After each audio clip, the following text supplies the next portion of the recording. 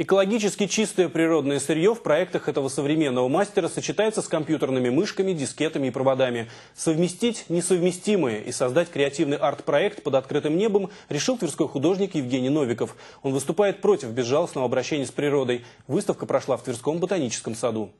С первого взгляда объемные картины кажутся дисгармоничными. Натуральные природные материалы мастер совместил с пластиком, резиной и металлом. Название выставки инсталляции 10 тысяч лет спустя. Работы изображают, как стихия наказывает человека за его грубое обращение с природой. Масса примеров э, катаклизмов мы видим э, в реальности, где цунами, где там извержение и так далее.